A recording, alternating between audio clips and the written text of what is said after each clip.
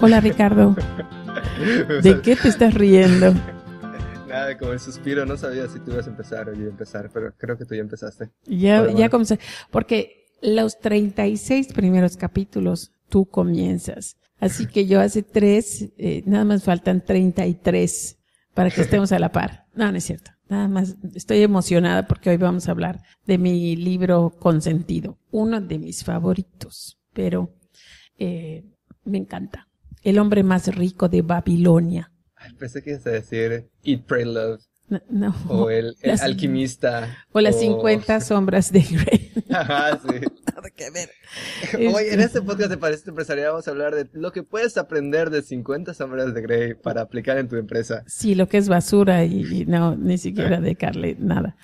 Em, no, El hombre más rico de Babilonia es un libro de George S. Clayson, me parece que así se pronuncia. Eh, un libro que tiene, pues, no, todavía no tiene 100 años, pero casi. Eh, hizo un libro que me fascina, lo tengo en libro, lo tengo en audiolibro, eh, hablo de él en cada clase y es la verdad eh, la causa principal de mucho del crecimiento económico de mi empresa, así, neta. Y no solamente eso, sino que, no solamente eso, sino que hay gente que se inscribe a iniciadores porque este, los consejos que yo saqué del hombre más rico de Babilonia y que digo en la clase de dinero de iniciadores, eh, ha hecho que mucha gente ahorre, pueda ahorrar bien, pueda construir un fondo de riqueza y a la gente le, le llama mucho la atención eso y como que vienen. Y, o luego al final del curso hay alguna gente que me dice, para mí lo más importante fue eso que dijiste del 10%. Es increíble eh, lo que ha pasado con esto. Así que se Fue una casualidad total porque estábamos hablando hace una semana sobre temas posibles, parte de nuestra planeación con varios meses de anticipación para cada podcast. y, y me dijiste, oye, ¿qué tal si hablamos del hombre más rico de Babilonia? Y te juro, tengo aquí el libro, que lo agarré de casualidad en la biblioteca, o sea, como una semana antes de que me lo dijeras y como me lo dijiste, el día anterior había terminado de leerlo. O sea, el día anterior había empezado y lo había terminado de leer, porque son como 100 páginas. Pero dime una cosa, ¿no es un libro hiper sencillo de leer? Sí, y, además era como una señal, como que lo dijiste justo cuando así, literal, daba volteé y vi el libro a la de mí y dije, sí, creo que es un buen, un buen momento para hablar del libro. ¿Sabes qué? Es que yo compré el libro después de que empecé a leer libros, pues, modernos, de, de dinero, ¿no? Como Padre Rico, Padre Pobre y La Mente Millonaria y los cinco secretos que aprendí un millonario. Y todos mencionaban el hombre más rico de Babilonia. Y dije, no, no, no, me voy a la fuente, mejor. y es maravilloso. Bueno, primero que nada, porque es, es un conjunto de, de historias contadas eh, como si fueran unas leyendas, eh, con metáforas hermosas acerca del uso del dinero. Y a mí me encanta que me cuenten historias, ¿qué te puedo decir? Sí, cuando me ponen, empiezan a poner gráficas y eso, como que pierdo el interés. Pero las historias me fascinan. Y habla de eh, la, los usos eh, financieros de los babilonios, que eran, era una, era una cultura tan rica, tan rica, tan sabia en el uso del dinero, que eh, vivían en el desierto y sin embargo poseían una de las eh, maravillas eh, naturales del mundo antiguo, que eran sus jardines colgantes. Esos eran los, los babilonios.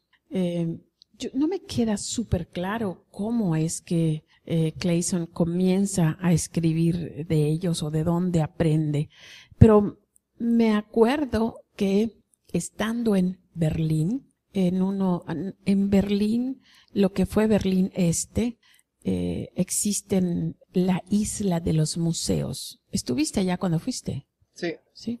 Sí, o sea, son varios museos que están juntitos y está muy, muy agradable. No sabes cuál está mejor que el otro. Y había una exhibición acerca de los babilonios y de todas las, eh, podías ver todas las tablas, eh, de donde ellos eh, redactaban, documentaban todas las prácticas financieras que tenían. Y bueno, eh, son, eran tan pregonas que hasta el día de hoy siguen siendo vigentes. Eh, y yo creo que este libro debiera de estar como uno de los libros obligados para leer en quinto sexto de primaria. y es, y es uno, me, me, me gusta que el, el, libro tenga ciento y tantas páginas, o sea, 110 o algo así, porque pasa mucho, especialmente con libros de negocios y libros de dinero, como tú dices, que se extiende, o sea, son, son libros que la verdad se deben de haber quedado como artículos. O sea, es alguien que tuvo una idea o dos ideas muy buenas y, le dieron un contrato en un libro. Y publicaron algo de 250, 300 páginas que se podría resumir en, ok, tal cosa creo que es buena. Y ya. Ay, sí es cierto, Ricardo. Fíjate que a veces pienso esto, pero no, como que nunca lo había uh, dicho así como lo estás diciendo. Pero sí, ya, eh, ahorita estaba yo leyendo un libro que dije, bueno, yo creo que me quedo aquí a la mitad porque creo que ya se repitió ocho veces este señor. Sí. Pero con el hombre más rico no, no pasa esto. Eh, estaba, el, el, el libro toma el título de la segunda historia, El hombre más rico de, de Babilonia, eh, donde eh, los, los vecinos eh, o un grupo de hombres que están hablando en la primera historia acerca de cómo ser rico, cuál es la fuente de la riqueza, qué es lo que hace ricos. Algunos, es la suerte, es que ganan mucho, es la herencia, qué es, y deciden juntarse e ir a ver a Arcad, el hombre más rico de Babilonia, el hombre un hombre tan rico que hasta los mismos eh, gobernadores le pedían a él consejo y financiamiento. Y él les dice que sí, que se sienten y, él, y, las historias, las, historias, las historias de Arcad son las que forman el libro. creo que en esa parte, sí dice, me estoy, estoy quedando viejo y a una lengua vieja le gusta hablar y cuando vienen los jóvenes por, por como consejo, pues no, no, no, me puedo resistir a hablar sobre eso. No, divino. Y, y habla de todo, o sea, de, de la fortuna, como hay mucha gente, cualquier parecido con la realidad, que está esperando sacarse la lotería o ir a los eh, a Vegas o ir a los casinos y ahora sí me voy a fregar y esto porque yo conozco a alguien que se hizo rico, etcétera. Eh, a los prestamistas igual les dice a quién prestarles dinero y a quién no. Una de las historias que más me encanta es la del esclavo, la del esclavo que compró su libertad, porque bueno, en, en esta cultura se podía hacer eso. Y cómo te va equiparando a cada paso de las aventuras del esclavo, te, te lo equipara con el, la idea de ser una persona que no tiene dinero, que tiene que depender de un pequeño sueldo y los sacrificios que tú tienes que hacer para comprar esa libertad, que tienen que ver con esto de no decirle la gratificación instantánea, ¿no? Somos los reyes de decir, ya me estuve trabajando 15 días, ya me rajé la espalda, me merezco eh, irme a, a cenar aquí. O mira esos zapatos, qué chulos, total, solamente se vive una vez, qué tal si me muero mañana, igual. Y así vivimos, y, eh, mucho, sobre todo en México. Y eh, no es que uno no se pueda dar los gustitos. Aquí hablábamos de aquella parte del libro de Kiyosaki, donde dice, o sea, muchos años me privé y cuando pude comprarme mi primer Mercedes o no sé qué automóvil, lo compré cash. ¿Te acuerdas de eso? Creo que sí, sí, ¿Sí? Entonces, no es que nunca jamás te disfrutes de nada y que siempre tengas que ahorrar. Sí, eh, y tenemos que, que pasar una etapa donde nosotros tenemos que ahorrar, invertir, entender qué es lo que estamos haciendo, que es construyendo una, un fondo de riqueza, eh, antes de gastar despavoridamente. Y después el dinero empieza a llegar solo. Es asombroso. Mira, no soy una persona dinerista, ni cuenta chiles, ni, ni nada. La verdad, este, soy bastante gastadora, soy bastante eh, bon vivant, pero esta, esta historia la leí, la entendí de una manera tan simple, empecé a seguir los consejos, eh, que la verdad son muy fáciles de seguir y empecé a ver resultados, pero casi inmediatamente. ¿Te acuerdas cuál es el consejo número uno de Arcad? Ah, al del, de cada, bolso. De cada porción. tu bolso. Sí. De cada porción que ganes, quédate tú con una parte. Eh, dice, les decía a sus oyentes, cada vez que te paguen, tú tienes que quedarte con algo de ese dinero. Y los oyentes protestaban. Pues, o sea, ¿a qué te refieres que con una parte del dinero? Si toda la parte, todo lo que gano es para mí. O sea, todo me lo dan a mí. Y entonces él, les preguntaba, ¿es, ¿es, es, cierto eso? No es verdad que apenas recibes las monedas, vas a casa de quien te vende los granos y les dejas dos monedas y después vas a quien te da los borregos y le das otras monedas y después al que te vende las velas y las otras monedas y después, etcétera, etcétera, las telas, etcétera. Y después tú te quedas sin nada. Y está hablando de, nosotros, ¿no? O sea, apenas recibimos la, la quincena o apenas recibimos el dinero, guac, le damos mate inmediatamente. Porque pensamos, es nuestro, me lo puedo gastar como quiera, es mío, que me importa. Pero en realidad no, no nos estamos quedando con nada.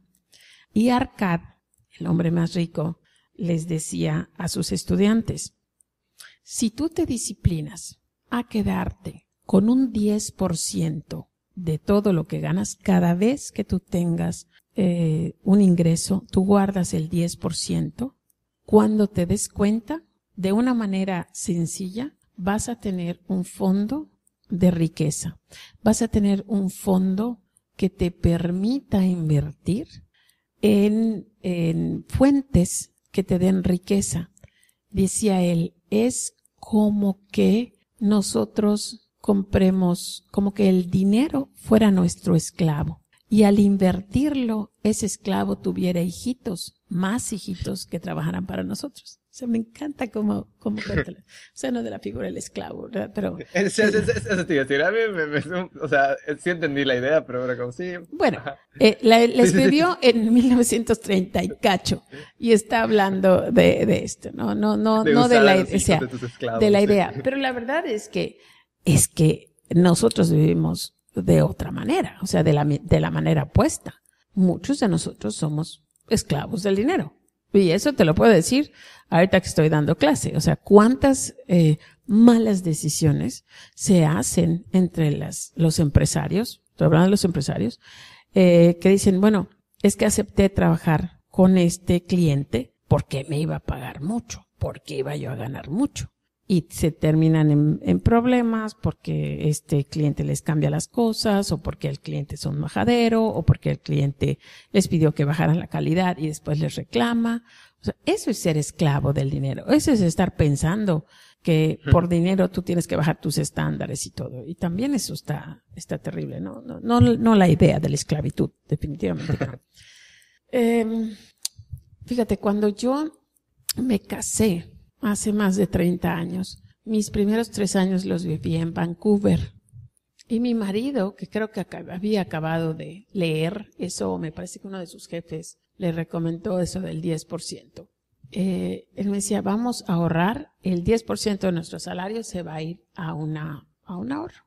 Entonces, cuando recibía yo mi cheque, que creo que era como de 300 dólares o algo, yo tenía que guardar 30 dólares y él guardaba lo suyo. Estábamos ahorrando.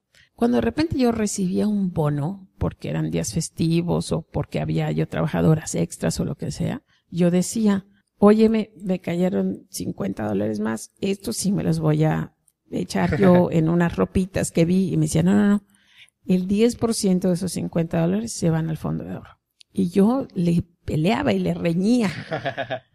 Eh, pero como era recién casada enamorada, yo obedecía. Ese dinero, mira, nosotros dejamos Vancouver en 1987.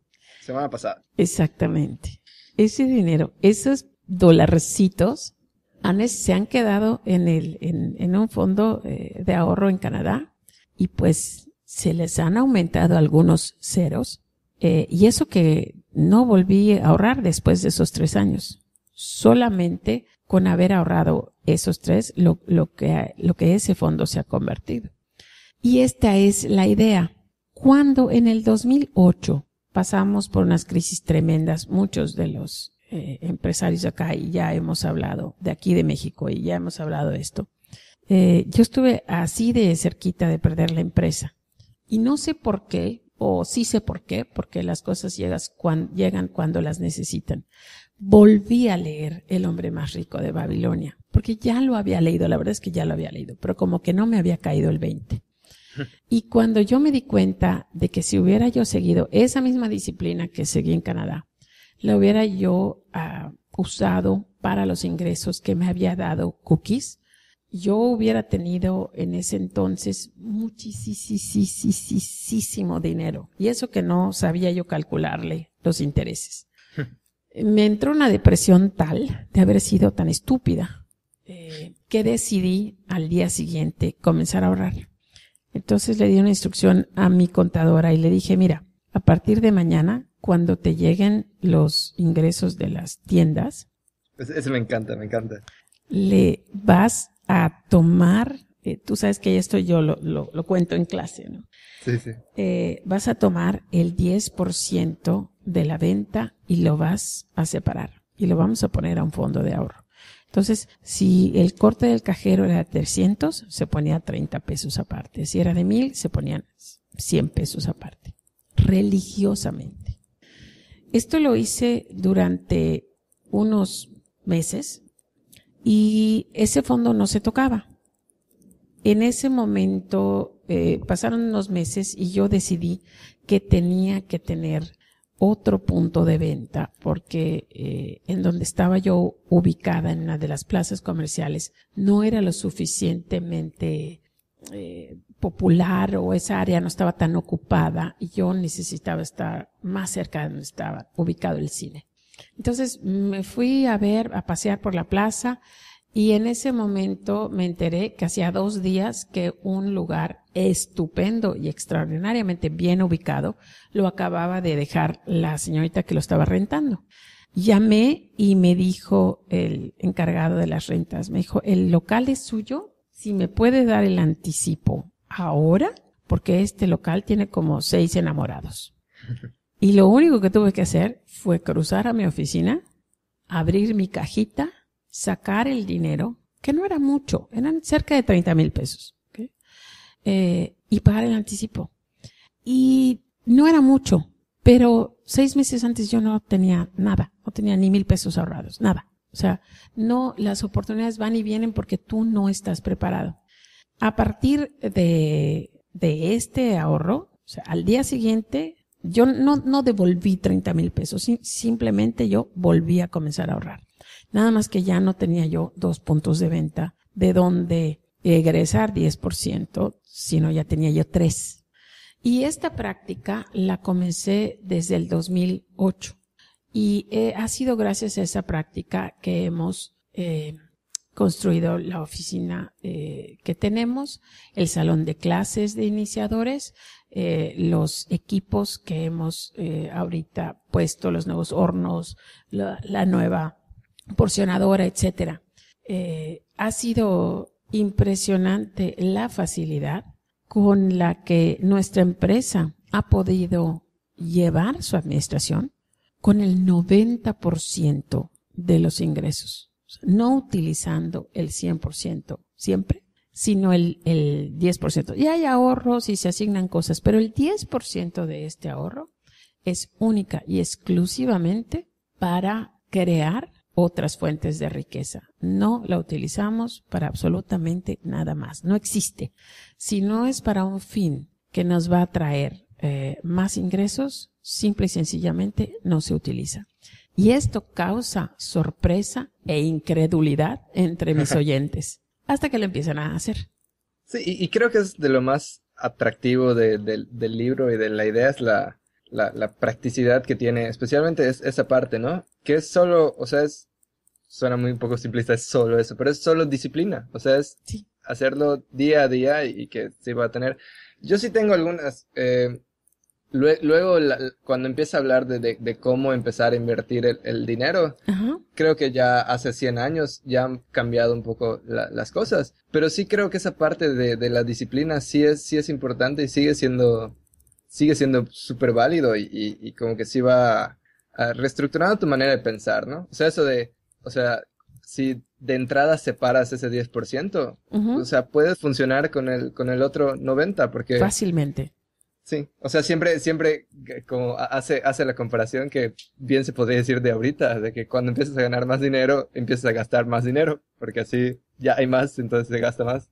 Sí, eh, también yo me acuerdo de, de, un chiste que leí una vez, que es mejor tener seis millones que, que seis hijos, porque cuando tienes seis millones quieres más, pero seis hijos ya, ya no quieres más. o sea, el, el, cuando ahorras y empiezas a construir riqueza, o sea, sí, sí gastas, o sea, el, la idea de aquí es, pero no es un, no es más que un gasto, es una inversión. A mí sí me da curiosidad, este, lo que me acabas de decir de que hay una parte de invertir el dinero que no estás de acuerdo porque no aplicaría ahora. ¿Cuál sería? Eh, creo que, eh, o sea, eh, estamos hablando, creo que es como de, mil, de los 20, 30 cuando sí, de el libro. 1930, y, sí. Y, y, lo habla un poco es, es una fábula también, pero como muy directo. Si entonces vas y, y pones el dinero, hablas con el mercad, mercador, mercante, está en inglés el libro antiguo, mercante de, de, joyas, para saber sobre dónde hablar de joyas y ya inviertes dinero en eso. Y, y creo que es como que, o sea, sí lo puedes ver de esa manera, pero tampoco está tan, tan directo. No, yo, yo creo que lo que él dice allá es que, este, porque creo que, que igual es un señor que presta dinero, ¿no? Y iba hablando de las gentes a las que les das dinero. Y cómo hay mucha gente que, que invierte sin saber en, a, a, dónde va a poner su dinero. Solamente porque alguien le dijo, oye, es buenísimo negocio esto, ¿no? Pero no sabemos nada de, de, de, las joyas y esto. No sé, lo, e, es, es un libro que, a, mí, a mí sí me fascina, como tú dices, es, son 100 páginas, eh, puedes encontrar muchísimas ideas muy buenas, pero la de págate primero es la primera y la más importante regla para construir riqueza. Eh, mucha gente siempre cuando me oye decir esto me dice, pero ¿cómo? Este, no puedo guardar el 10% porque el 10% son mis ganancias. Bueno, esto no tiene que ver con la ganancia y la utilidad. Esto es el ingreso. Lo que ingresa a tu empresa o lo que ingresa a ti de manera personal. Tú tienes un salario, este, de mil pesos a la semana, guarda 100. Te regaló tu abuelita 500 pesos, guarda 50 este, te encontraste en la calle un billete de 200, guarda 20. O sea, todo el dinero que te llegue, lo guardas y lo vas manteniendo. Y la única regla es que no lo vas a tocar a menos que te produzca, que, que cuando lo inviertas, el resultado sea que tengas una fuente extra de dinero o un grandísimo ahorro. O sea, a veces ese, ese dinero de riqueza lo puedes utilizar porque, eh, vamos a ver, encontraste tu materia prima de oferta y si compras tantas toneladas te vas a ahorrar un 30%. Esos son ahorros que luego te, te traen más incremento, ¿no? Y, y, y además me dicen, no, es que es mejor, a veces discuten, no es que es mejor pedir dinero para no trabajar con tu dinero, lo que sea. Mira, lo primero que te quiero decir a estas personas que me dicen esto es, el banco no te presta dinero si no tienes dinero.